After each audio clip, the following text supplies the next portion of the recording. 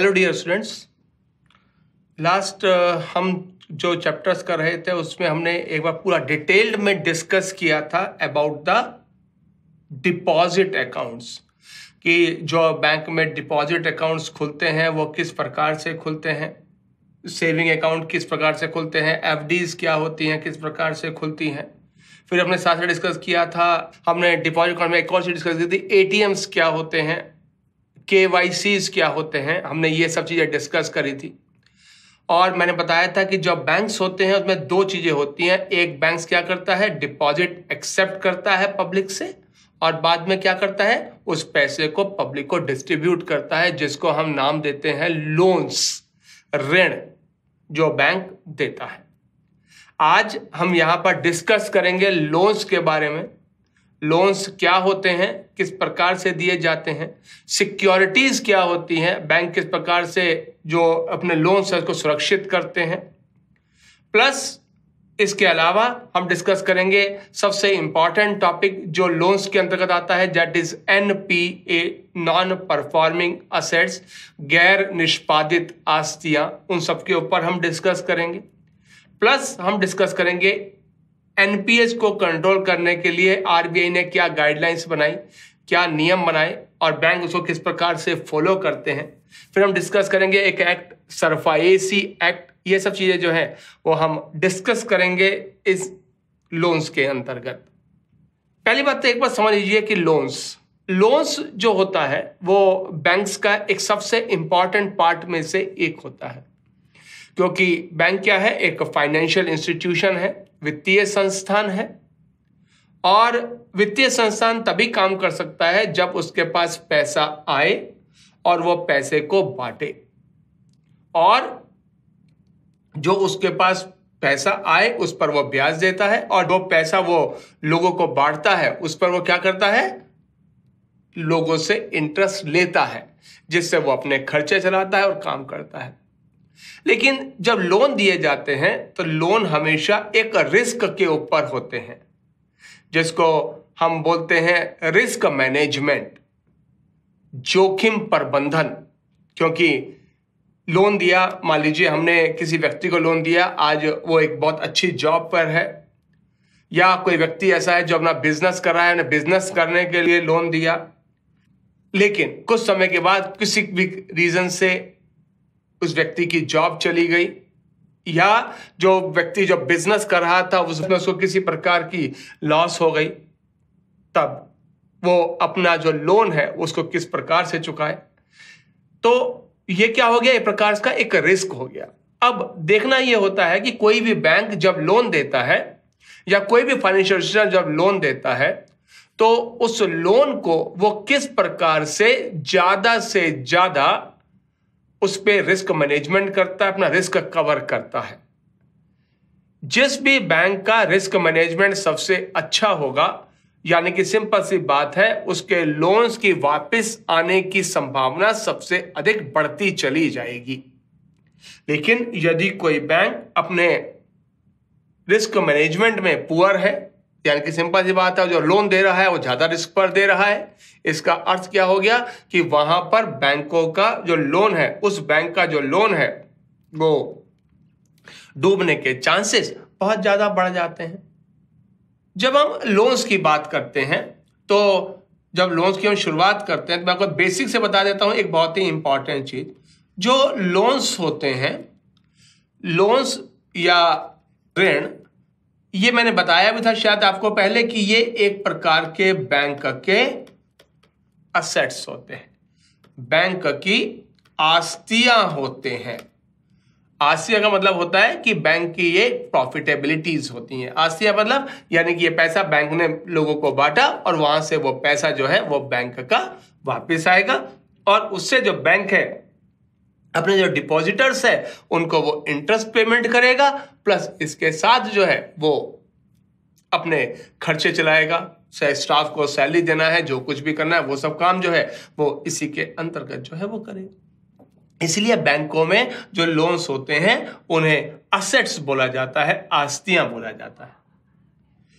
जब लोन्स की हम बात करते हैं तो लोन्स बेसिकली जो होते हैं वो हम तीन कैटेगरी में बांटते हैं। अगर हम सिक्योरिटी की बात करें, सिक्योरिटी के आधार पर, सुरक्षित जमाओं के आधार पर, हम लोन्स को, ऋणों को तीन प्रकार से विभाजित करते हैं। पहले होते हैं हमारे फुल्ली सिक्योर्ड लोन्स। पूर्णतः सुरक्षित ऋण। यानी कि हमने जो लोन बांटा that is with hundred percent security सौ प्रतिशत सिक्योरिटी के साथ। यानी कि हमने दस लाख रुपए का लोन दिया और हमने कस्टमर से जो हमारा ग्राहक है, जो हमारा, जिसने हमसे लोन लिया है, उससे हमने दस लाख से ज़्यादा की सिक्योरिटी अपने पास जमा करी। That is called fully secured loan और बैंकों के लगभग सत्तर परसेंट जो लोन होते हैं, सेवेंटी परसेंट जो लोन होते हैं, वो फुल्ली सिक्योर्ड लोन्स के अंतर्गत आते हैं।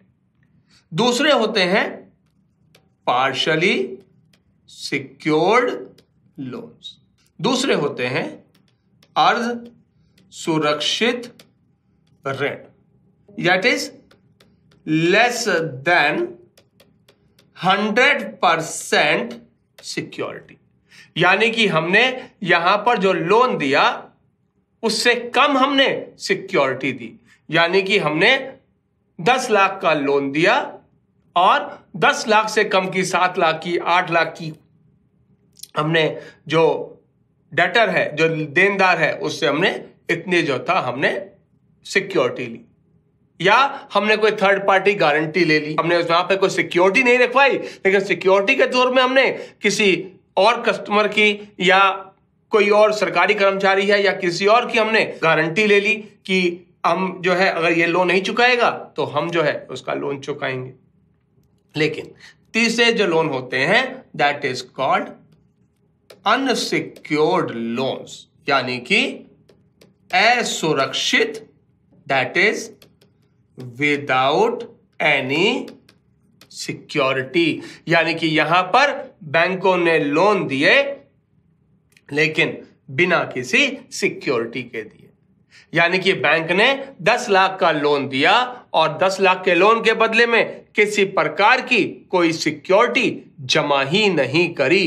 That is called unsecured loans और एक चीज़ रखिएगा, जो बैंक्स होते हैं, बैंकों में जो अनसिक्योर्ड लोन्स होते हैं, इसको हम एक और नाम देते हैं that is also known as clean loan असुरक्षित ऋण, हिंदी में इसको असुरक्षित ऋण ही बोलते हैं, लेकिन इंग्लिश में इसको एक और नाम दिया जाता है क्लीन लोन और एग्ज़ाम जब भी पूछा जाता है जनरली ये नहीं पूछता है व्हाट इज़ अनसिक्योर्ड लोन वो ज़्यादातर पूछता है कि क्लीन लोन किस प्रकार का लोन है? उसमें क्या सिक्योरिटीज हमारे पास अवेलेबल होती है? यानी कि वो लोन जहाँ पर बैंक कस्टमर से किसी प्रकार की कोई सिक्योरिटी लेता ही नहीं है that is called clean loan या अनसिक्योर्ड लोन अब बैंक ने क्या किया? बैंक ने देखा कि आपकी गुडविल बहुत अच्छी है। आप बहुत बड़े बिजनेसमैन हैं या आप सरकारी कर्मचारी हैं, तब बैंक ने क्या किया? तब आपकी जॉब के आधार पर या किसी और आधार पर आपको जो है वो लोन दे दिया। That is called unsecured loan तीनों प्रकार के जो लोन है, जो बैंक बांटता अब समस्या यहाँ पर आती है कि अगर हमने फुल्ली सिक्योर लोन ज़्यादा दिए हैं तो हमें कोई दिक्कत ही नहीं है किसी प्रकार की। अगर मान लीजिए कस्टमर ने यदि लोन नहीं चुकाया तो बैंक क्या करेगा? ये जो सिक्योरिटी यहाँ पर, जो भी अवेलेबल सिक्योरिटी होगी, उसको बेच देगा और अपना लोन जो है, वो क्या करेगा? रिकवर कर लेगा। पार्शली सिक्योर्ड यहाँ पर बैंक थोड़ा सा फंस जाता है। कि मान लीजिए अगर कस्टमर ने लोन नहीं चुकाया क्या कोई भी समस्या के रीजन आ गया, अब यहाँ पर बैंक क्या करेगा? लोन जो है, उसको रिकवर करने के लिए बैंक को थोड़ी मशक्कत करनी पड़ेगी, थोड़ी मेहनत करनी पड़ेगी। लेकिन अगर किसी बैंक ने अनसिक्योर लोन ज़्यादा दिए हुए हैं, तब यानी कि उस बैंक का रिस्क मैनेजमेंट सबसे पुअर रिस्क मैनेजमेंट होगा। क्योंकि यहाँ पर बैंक ने अपने पैसे को, जो जनता का पैसा है, जो जनता से लिया हुआ पैसा है, किसी और व्यक्ति को दिया जा रहा है, जनता में किसी और व्यक्ति को दिया जा रहा है, यानी कि पब्लिक के डिपॉजिट को बैंकों ने जानबूझकर बूझ कर एक प्रकार से रिस्क पर डाल दिया। इन जनरल बैंक ये माना जाता है कि बैंकों में लगभग सेवेंटी परसेंट के आसपास सिक्योर्ड लोन है, केवल ट्वेंटी परसेंट के आसपास पार्शियल सिक्योर्ड है, और टेन परसेंट जो बैंकों के जो लोन्स होते हैं, वो लगभग लगभग अनसिक्योर्ड लोन की कैटेगरी में आते हैं। अब हम यहाँ पर एक चीज़ और डिस्कस कर लेते हैं कि बैंकों में जो अनसिक्योर्ड लोन्स होते हैं, जो लोन्स होते हैं, चाहे किसी प्रकार के लोन्स हो, जो चाहे वो पार्शली सिक्योर्ड हो, चाहे वो कौन कौन से लोन जो है, किस कैटेगरी में आते हैं। फुल्ली सिक्योर्ड अगर हम पहले बात करें तो दैट इज़ फुल्ली सिक्योर्ड जिसमें अगर हम बात करें तो इसमें अगर हम सबसे पहले देखें तो जो लोन आएगा, जितने भी हमारे रिटेल लोन होते हैं रिटेल लोन जैसे होम लोन और व्हीकल लोन होम लोन और व्हीकल लोन बैंक जब भी होम लोन देता है या व्हीकल लोन देता है तो अब ये इन जनरल फुल्ली सिक्योर्ड होते हैं। यानी कि आपने दस लाख का मकान लिया और जो था बैंक ने आपको दस लाख के बदले में जो था एट्टी फाइव परसेंट लोन दिया या नाइन्टी परसेंट लोन दिया व्हाट सेम मीन जेम ऐसे ही व्हीकल आपने मान लीजिए कोई कार बैंक से लोन पर ली। मान लीजिए आपने जो कार ली, उसकी वैल्यू दस लाख की है तो बैंक क्या करेगा? आठ लाख या नौ लाख का लोन जो है, वो आपको देगा। एक चीज़ और समझ लीजिएगा। जब बैंक लोन देता है तो सिक्योरिटी की वैल्यू वो मानी जाती है जो उस समय है। जैसे मान लीजिए, आज किसी बैंक ने किसी व्यक्ति को व्हीकल लोन सेंक्शन किया। मान लीजिए 25 लाख की कार थी और उसने उसको 22 लाख का लोन सेंक्शन किया। आने वाले समय में उसकी वैल्यू क्या रह जाएगी? कम हो जाएगी, ज़्यादा हो जाएगी, उससे बैंक को कोई फ़र्क नहीं पड़ता। सिक्योरिटी वो मानी जाती है, जब लोन दिया गया, उस समय उस सिक्योरिटी की वैल्यू क्या थी? अगर बैंक ने जो 25 लाख की कार में, अगर 20 लाख का लोन दिया है तो वह फुल्ली सिक्योर्ड है। बाद में उस कार की वैल्यू क्या रह गई, क्या नहीं रह गई, उसमें क्या समस्याएँ वो सब चीज़ें सेकेंडरी चीज़ें कहलाती हैं। So that is the retail loan जितने भी होते हैं होम लोन और व्हीकल लोन ये क्या होते हैं हमारे? फुल्ली सिक्योर्ड लोन होते हैं, पूर्णतः सुरक्षित लोन होते हैं। Business loan business loan in general जो बैंक सैंक्शन करता है इन जनरल वो फुल्ली सिक्योर्ड होते हैं। जब तक आप बैंक के पास किसी प्रकार की कोई सिक्योरिटी जमा नहीं करोगे बैंक इन जनरल लोन देता ही नहीं है। ठीक? तीसरा, एक लोन जो ज़्यादातर बच्चे उस लोन को जो है, वो अनसिक्योर्ड मानते हैं। लेकिन याद रखिएगा, तीसरा लोन आता है, जो फुल्ली सिक्योर्ड है दैट इज़ एग्रीकल्चर लोन कृषि ऋण अबोव रूपी वन लैख कृषि ऋण एक लाख से ऊपर के जितने भी एग्रीकल्चर लोन होंगे, वो फुल्ली सिक्योर्ड होंगे। यानी कि यदि आपने बैंक को सिक्योरिटी प्रदान नहीं की है तो बैंक आपको लोन सैंक्शन ही नहीं करेगा एग्रीकल्चर लोन यानी कि आपके एग्रीकल्चर लैंड होनी चाहिए, उस पर कल्टीवेशन हो सकता होना चाहिए, तभी जो है बैंक आपको एग्रीकल्चर लोन देगा। हाँ एक लाख से नीचे का यदि आप चाहते हैं एग्रीकल्चर लोन तो बैंक जो है वो आपको बिना किसी सिक्योरिटी के वो अवेलेबल करा देता है। लेकिन इन जनरल जो एग्रीकल्चर लोन होते हैं, वो फुल्ली सिक्योर्ड होते हैं। दूसरों की बात करें दैट इज़ हमने बात करी थी पार्शली सिक्योर्ड इन जनरल जो हमारे कुछ बिज़नेस लोन होते हैं वो क्या होते हैं हमारे? पार्शली सिक्योर्ड लोन्स की कैटेगरी में आते हैं। यानी कि अगर वो लोन पार्शली सिक्योर्ड है, तभी जो है वो सैंक्शन किए जाएँगे। अदरवाइज़ बैंक उसको जो है सिक्योरिटी कुछ ना कुछ अवेलेबल कर लेता है अपने पास, ताकि बैंक को भी किसी बात की समस्या ना रहे और कोई दिक्कत ना आए आगे जाकर। लेकिन सबसे इंपॉर्टेंट हमारे आते हैं अनसिक्योर्ड लोन्स असुरक्षित ऋण, ये क्या होते हैं? क्यों देता है बैंक? क्या बैंक को असुरक्षित ऋण देने चाहिए? देखिए, बहुत सिंपल सा एक नियम होता है। एक अब नाम टर्म समझ गुडविल। साख। व्यक्ति की साख के आधार पर बहुत कुछ निर्भर करता है।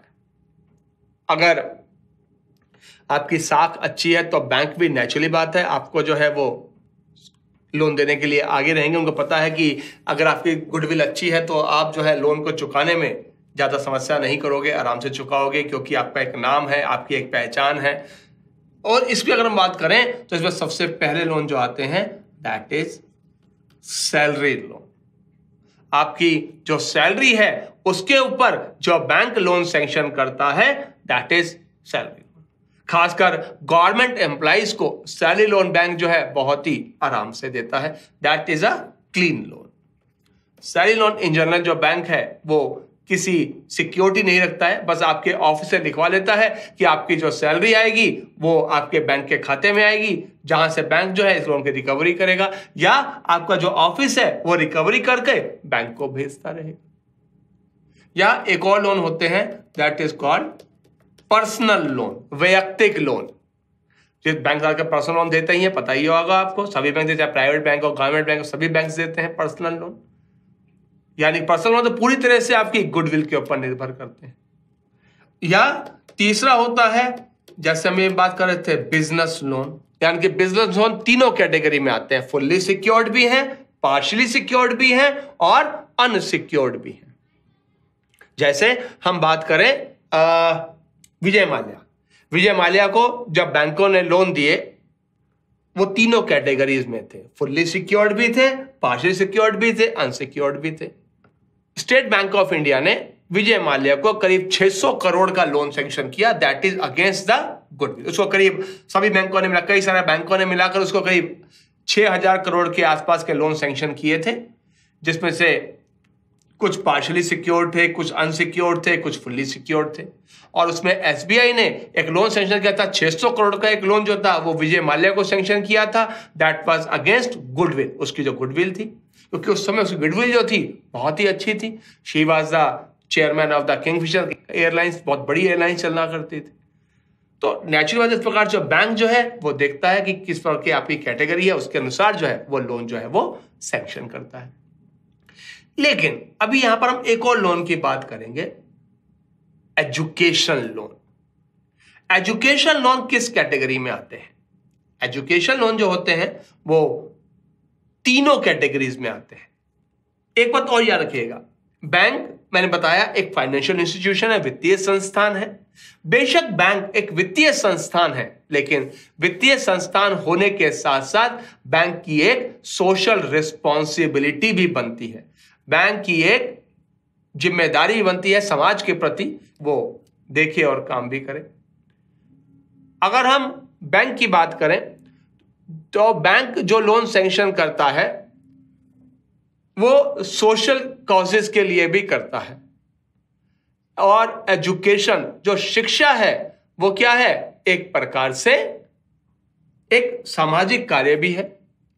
इसलिए जो लोन है एजुकेशन लोन जो है, पहली बात तो समझ लीजिए, एक चीज़ और, कि भारत में सभी बैंकों की, सभी शाखाओं को जो एजुकेशन लोन है, वो मैंडेटरी देना है। ये बैंक ये नहीं कह सकता, या कोई ब्रांच ये नहीं कह सकती कि मेरे यहाँ पर ये लोन जो है, वो सेंक्शन नहीं होते। एजुकेशन लोन, शिक्षा ऋण that is up to rupee four lakh अगर बैंक चार लाख रुपए तक का एजुकेशन लोन सैंक्शन कर रहा है तो बैंक इसमें आपसे सिक्योरिटी मांग ही नहीं सकता, क्योंकि यह बैंक की एक ज़िम्मेदारी बनती है। यानी कि बैंक जो है, एजुकेशन लोन चार लाख रुपए तक का बिना किसी सिक्योरिटी के सैंक्शन करता है। केवल फादर या मदर या दोनों की जो है वो गारंटी ले है। या ये कहते हैं, कई बार वो क्या करते हैं, गारंटी भी नहीं लेता, उनको को बोरोवर बना देता है। उनको सह लोन का भागीदार बना देता है। यानी कि जो लोन है, वो जो बच्चा पढ़ रहा है, प्लस फादर या मदर, दोनों में से कोई एक जो है, उसमें को बोरवर बन जाते हैं, उसमें साथ ही जो है, ऋण लेने वाले बन जाते हैं। अगर आप पार्शली सिक्योर्ड की बात करें तो education loan up to rupee seven point five zero lakh साढ़े सात लाख रुपए तक है, यानी कि चार लाख से ऊपर और साढ़े सात लाख तक का जो बैंक लोन जो सैंक्शन किया जाता है दैट इज़ पार्शली सिक्योर यहाँ पर बैंक जो है, कोई थर्ड पार्टी गारंटी ले लेता है, या बैंक उनसे किसी प्रकार की कोई सिक्योरिटी जो है, वो अवेलेबल करा जैसे मान लीजिए एफडी है मान लीजिए छह लाख का लोन दिया और उसमें उसमें बैंक ने क्या किया? उनका दो लाख की एफडी दो लाख की एफडी को जो था वो रिज़र्व में रख लिया। या मकान था, दो लाख का मकान है उनका, दो लाख मकान की जो वैल्यू है वो दो लाख की है लोन छह लाख का है तो मकान जो था वो गिरवी रख लिया। तो इस प्रकार से जो बैंक है, वो इस प्रकार से जो है एजुकेशन लोन सैंक्शन करता है।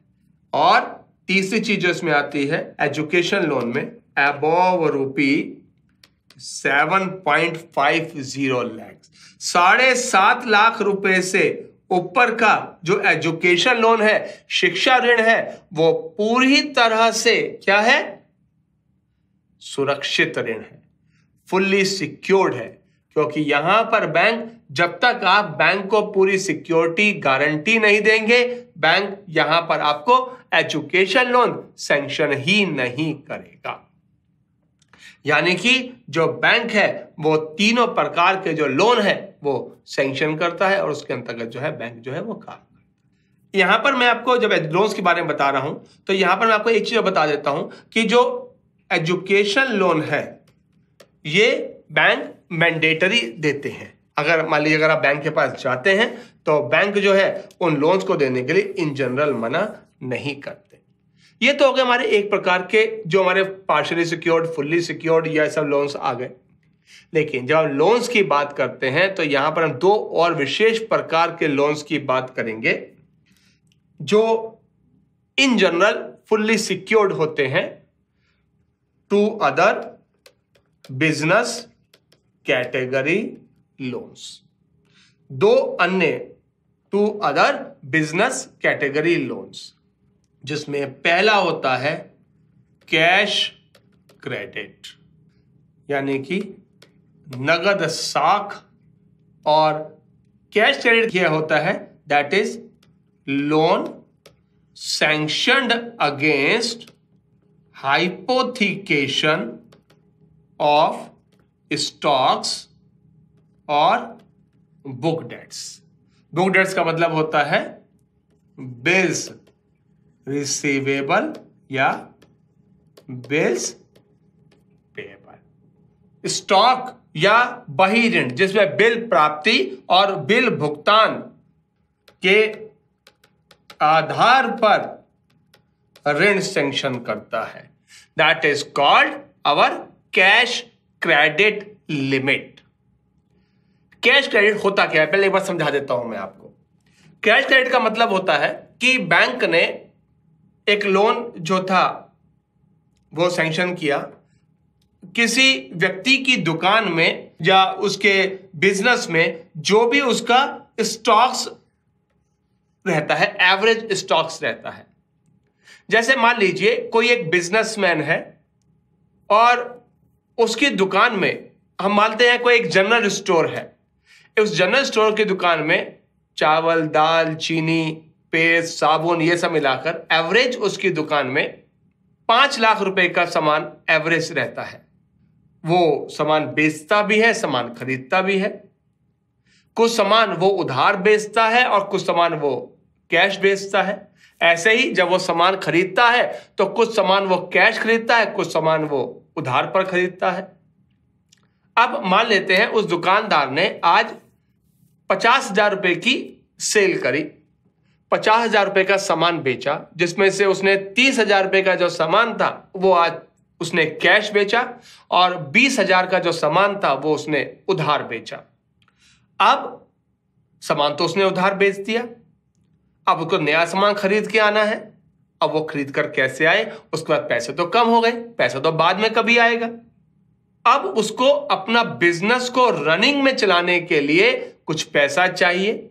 यही पैसा जो बैंक उसको, उसके पास जो एवरेज स्टॉक रहता है, उसके आधार पर सैंक्शन करता है that is called cash credit limit जैसे मैंने बताया कि उसकी दुकान में पाँच लाख का एवरेज स्टॉक रहता है। प्लस वो जो उधार माल खरीदता है, मान लेते हैं वो एक लाख रुपए का माल उधार खरीदता है और महीने में दो लाख रुपए का क्या करता है वो उधार माल बेचता भी है। अब उसके पास पैसा आना भी है, पैसा जाना भी है, और उसके पास स्टॉक्स भी अवेलेबल है। इसी के आधार पर बैंक उसको एक लिमिट सेंक्शन कर देता है, उसको एक लोन सेंक्शन कर देता है कि आप इतने अमाउंट तक का जो पैसा है अपने खाते में से निकाल सकते हैं, और जब आपके पास पैसा आएगा, उस पैसे को आप उसमें जमा कर दीजिएगा। यानी कि जो है, एक लगातार चलने वाला लोन होता है। यानी कि मान लीजिए बैंक ने उस पाँच लाख के आधार पर उसको दो लाख रुपए का एक कैश क्रेडिट लिमिट सेंक्शन कर दिया। यानी कि आज आप जो है वो पचास हज़ार रुपए तक का सामान आपने बेच दिया था अब आपको जो है हम दो लाख की लिमिट दी हुई है। अब मान लीजिए आपको आज तीस हज़ार का सामान खरीद के आना है, तीस हज़ार का सामान खरीद के लाइए। अब आपके पास जब पैसा आ जाएगा तो पैसे को आप अपने खाते में जमा कर दीजिए। जितने दिन उस पैसे को आप प्रयोग करेंगे बैंक के पैसे को, उतना दिन बैंक क्या करेगा आपसे? इंटरेस्ट ले लेगा।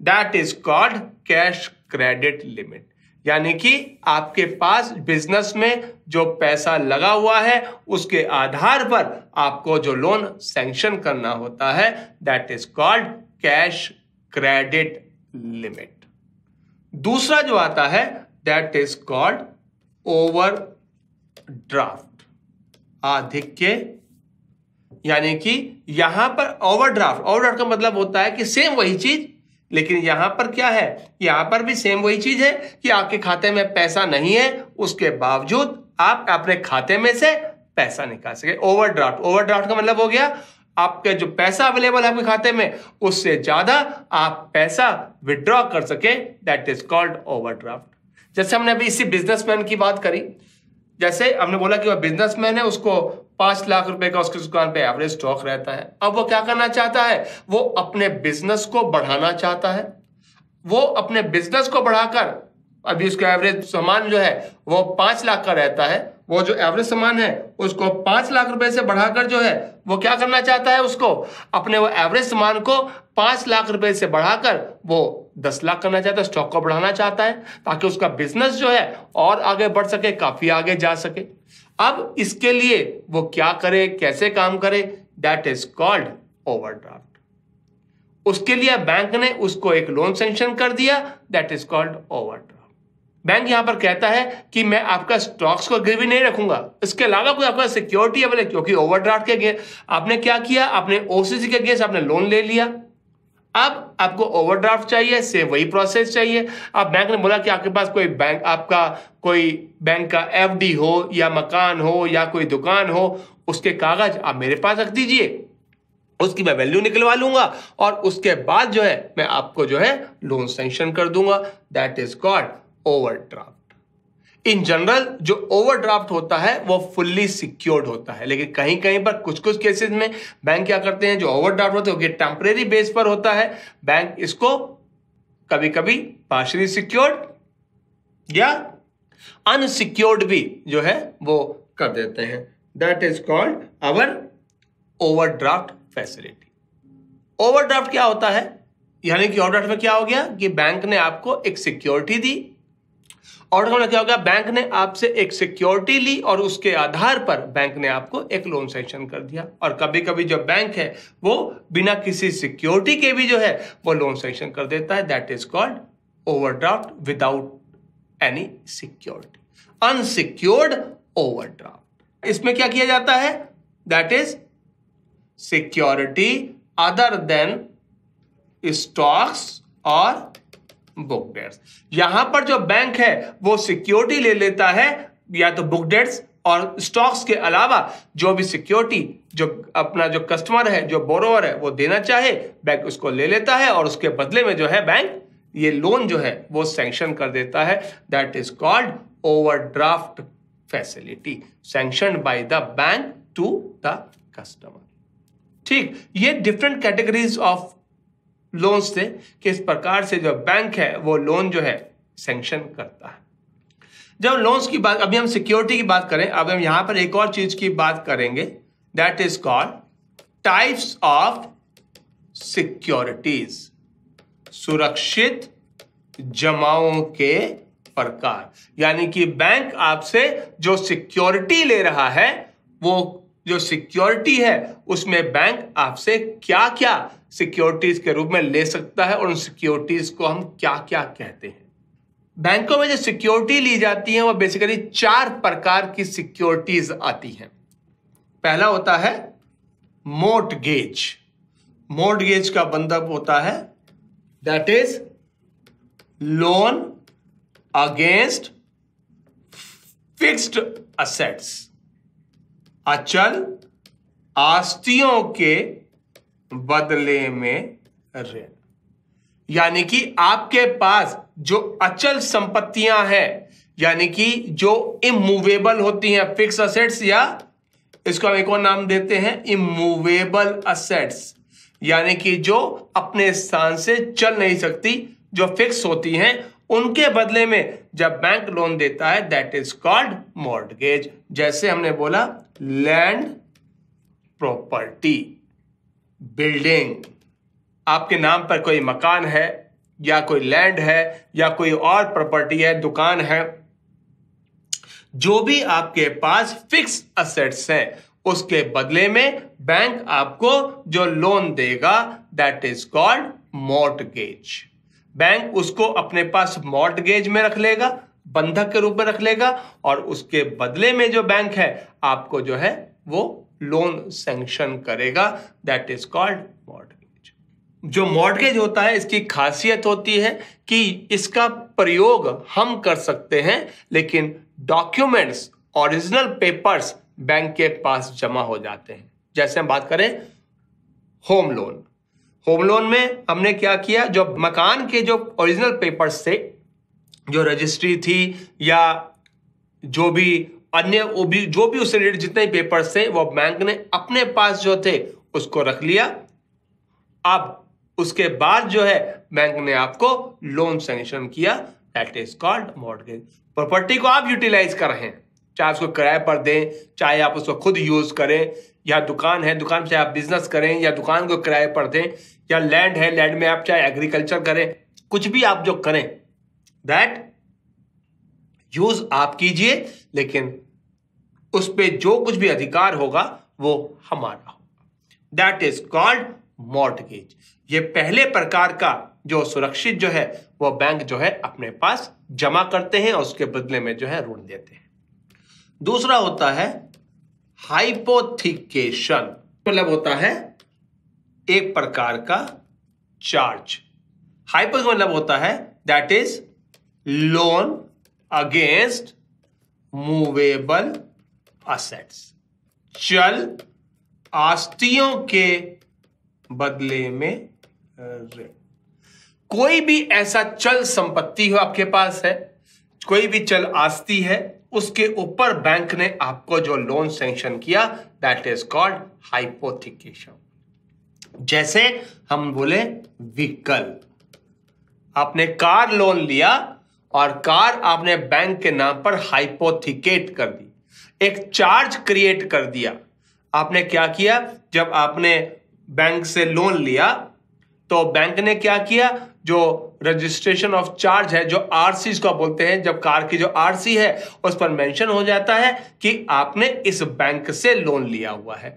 अब जब तक आप उस बैंक का लोन नहीं चुका देंगे, तब तक जो अगर मान लीजिए अपने व्हीकल को आप बेचना चाहें तो किसी अन्य व्यक्ति को नहीं बेच सकते।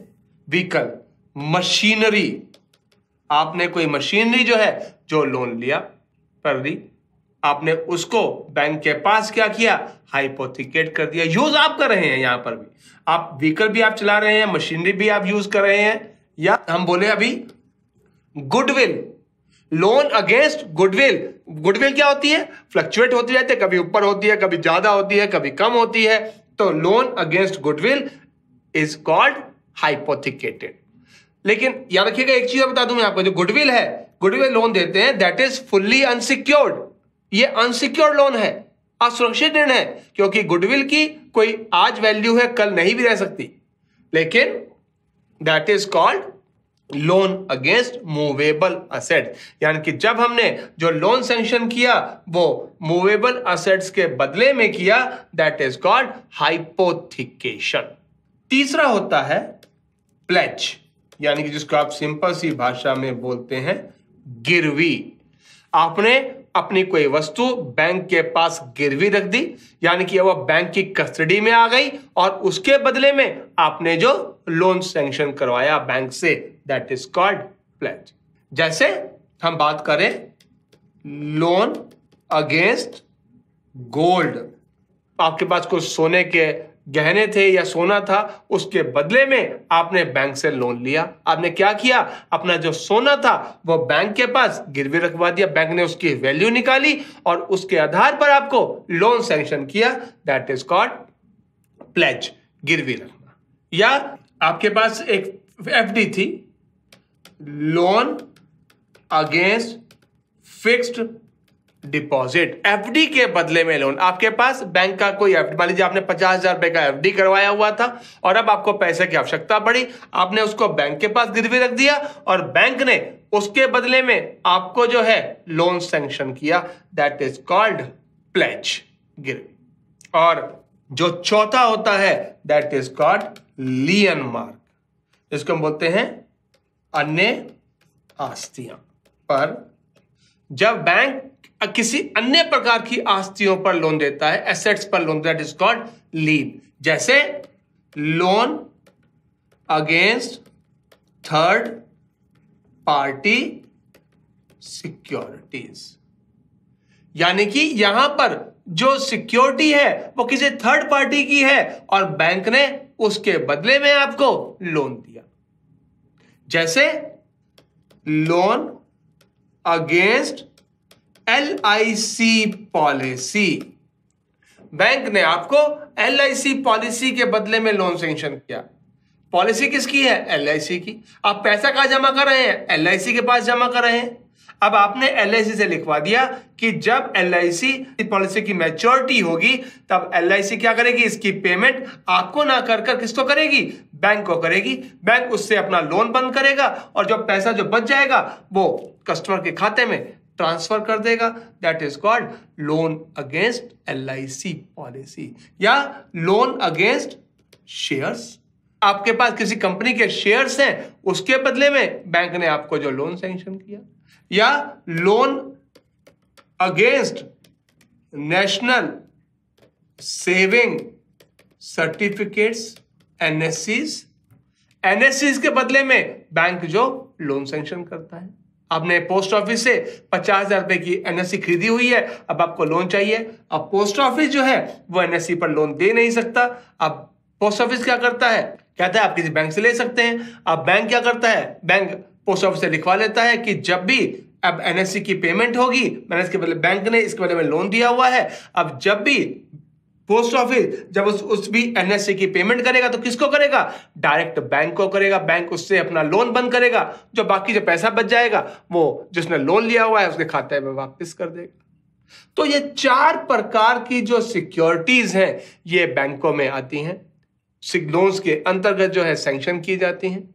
और इन चार सिक्योरिटीज के आधार पर जो बैंक है, वो फुल्ली सिक्योर्ड या पार्शली सिक्योर्ड जो लोन है, वो सैंक्शन करता है। That is the different types of securities against which the loan can be sanctioned by the bank next चीज़ पर आते हैं। अब हम बात करेंगे इंटरेस्ट रेट की। हमने बोला कि बैंक लोन देता है। जब बैंक लोन देता है तो उस पर क्या करता है वो इंटरेस्ट भी लेता है। अब इंटरेस्ट लेता कैसे? कैसे डिसाइड करता है बैंक अगर हम बात करें इंटरेस्ट रेट ऑन लोन्स ऋणों पर ब्याज दर। पहली चीज़ डिसाइड करता है डिसाइडेड बाय इंडिविजुअल बैंक यानी कि प्रत्येक बैंक अपना ब्याज दर स्वयं निर्धारित करता है। यानी कि बैंक डिसाइड करेगा कि मेरा ये लोन का रेट ऑफ़ इंटरेस्ट क्या होगा। ये कोई और संस्था या आरबीआई डिसाइड नहीं कर सकता।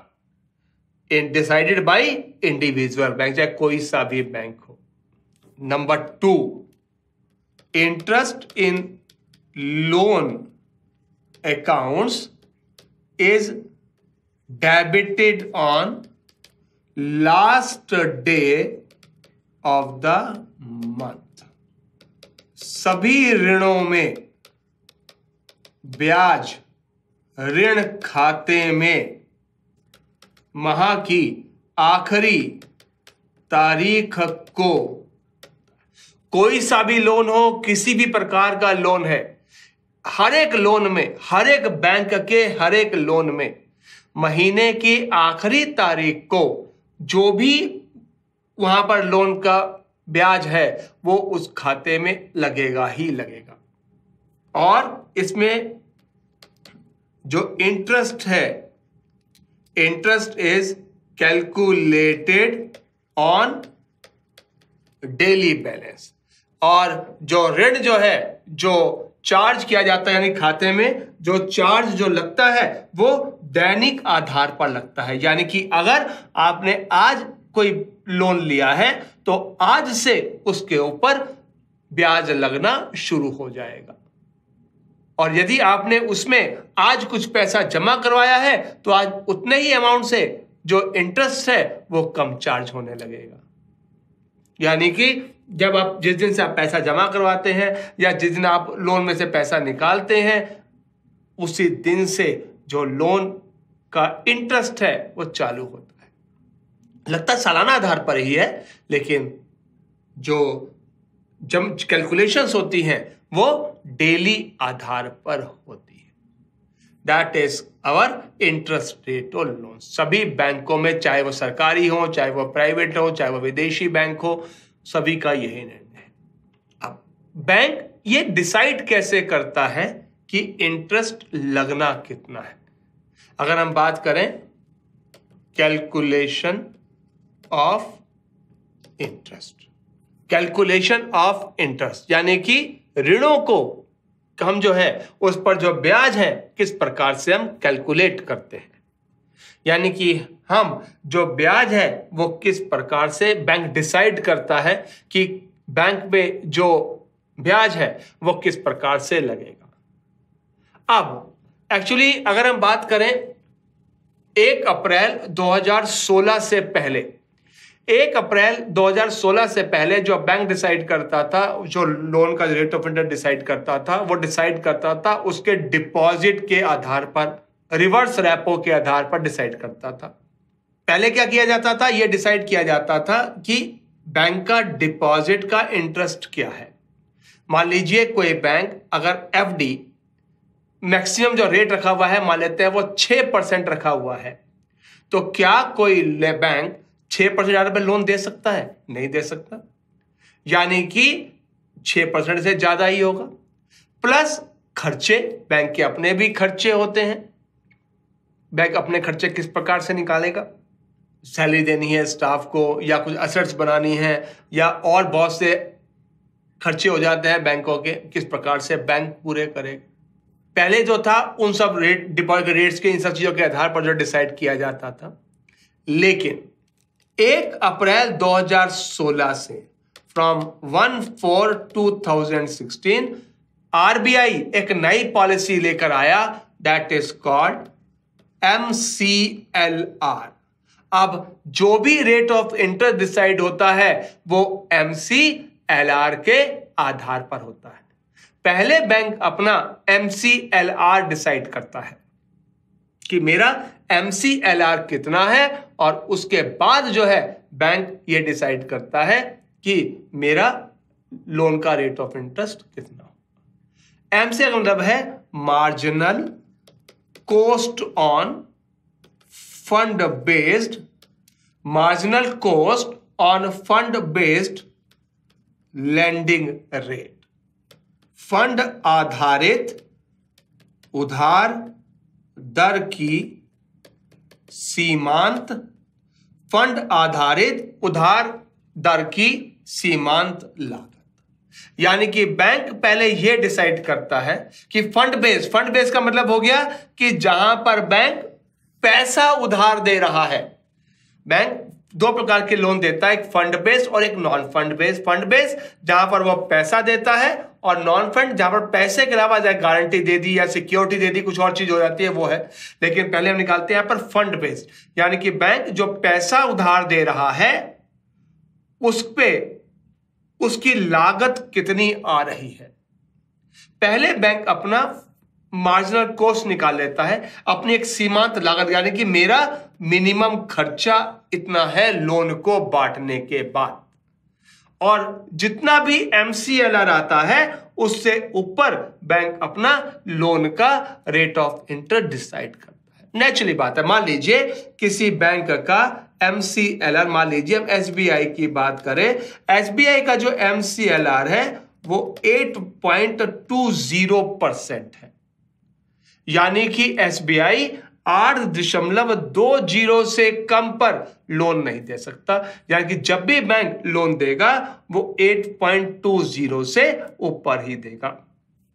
यानी कि एसबीआई मान लेते हैं कि उसका जो रेट रहेगा, वो दैट विल बी रेट यानी कि उसका एमसीएलआर जो है, वो 8.20 परसेंट आया और उसने कम से कम लोन का इंटरेस्ट दिया 8.35 परसेंट। यानी कि मैं 8.35 परसेंट से कम पर कोई लोन सैंक्शन नहीं करूँगा। क्योंकि मेरा यह सीमांत लागत है 8.20 मुझे कुछ प्रॉफिट भी कमाना है, यानी कि मेरे सारे खर्चे वर्चे निकालकर लोन में जो पैसा बांटना है, वो सब कुछ निकालकर, मेरा जो ब्याज दर बैठ न्यूनतम ब्याज दर बैठता है, वो आठ दशमलव दो ज़ीरो है। अब मैं अपना जो रेट ऑफ़ इंटरेस्ट रखूँगा, वो 8.20 से ऊपर रखूँगा। यानी कि मैंने अपना रेट ऑफ़ इंटरेस्ट मान लेते हैं 8.35 से that is called our calculation of interest इस प्रकार से जो बैंक है, वो इस प्रकार से जो है, अपने जो खर्चे हैं, वो कैलकुलेट करता है इंटरेस्ट रेट के बारे में। Clear that is the calculation of interest जब हम इंटरेस्ट की बात करते हैं तो रेट की अगर हम बात करें इंटरेस्ट रेट ब्याज दर। बैंक अपने लोन्स की दो ब्याज दर रखता है। पहला होता है बेस रेट आधार दर। जैसे मैंने अभी बताया, पहले बैंक ने क्या किया? अपना एमसीएलआर निर्धारित किया और उसके बाद उसने अपनी एक न्यूनतम लोन का इंटरेस्ट रेट डिसाइड कर दिया, जैसे मैंने बोला, कितना रखा? 8.35 रखा एसबीआई ने। That is called base rate base मतलब होता है base rate is the rate of interest below which bank can not sanction any loan except government sponsored loans आधार दर वह दर है जिससे कम पर बैंक कोई लोन जारी नहीं कर सकता सिवाय सरकार प्रायोजित, यानी कि जो गवर्नमेंट रेट्स है, उससे अलावा कोई लोन सेक्शन जैसे मान लीजिए, हमने बोला कि बैंक ने बोला कि मेरा, जैसे हम बात करें home loan at present in general जो रिटेल लोन्स होते हैं होम लोन जो होता है, वो बेसिकली बेस रेट पर निर्धारित होता है। बैंक कहता है कि मैं इससे कम पर कोई लोन नहीं दूँगा। आपने मुझसे लेना है तो लीजिए, नहीं लेना है, आप दूसरे बैंक से लेकिन मेरा मिनिमम रेट ऑफ़ इंटरेस्ट ये है, क्योंकि सब खर्चे वर्चे निकालने के बाद मेरा जो मिनिमम रेट ऑफ़ इंटरेस्ट बैठ रहा है, वो ये बैठ रहा है। अगर आपको लेना है तो ले लीजिए, नहीं लेना है, आप किसी दूसरे बैंक से ले लीजिए। That is called base rate देखिए यहाँ पर कंडीशन होती हैं। मान कोई गवर्नमेंट स्पॉन्सर्ड लोन है, जैसे हम बात करें, एक लोन की मुद्रा लोन जो मुद्रा लोन है, वो गवर्नमेंट स्पॉन्सर्ड लोन है। वहाँ पर गवर्नमेंट कहती है कि रेट ऑफ़ इंटरेस्ट इतना रखना है। मान उसने गवर्नमेंट ने बोला कि मुद्रा लोन का जो रेट ऑफ़ इंटरेस्ट है, वो सात परसेंट है। सात परसेंट से कम पर नहीं दिया जाएगा। और सात परसेंट से ज़्यादा पर नहीं दिया जाएगा। अब बैंक को क्या करना है? वो सात परसेंट पर ही देना है। क्योंकि वो बैंक का लोन नहीं है, वो गवर्नमेंट स्पॉन्सर्ड लोन इसमें स्पेशली मैंने लिखवाया कि वो लोन जो गवर्नमेंट स्पॉन्सर्ड लोन है, उसके अलावा इससे कम पर बैंक कोई लोन सैंक्शन नहीं कर सकता। That is called base rate ये एमसीएलआर के बाद पहले बैंक एमसी डिसाइड करता है, फिर बैंक अपना बेस रेट डिसाइड करता है।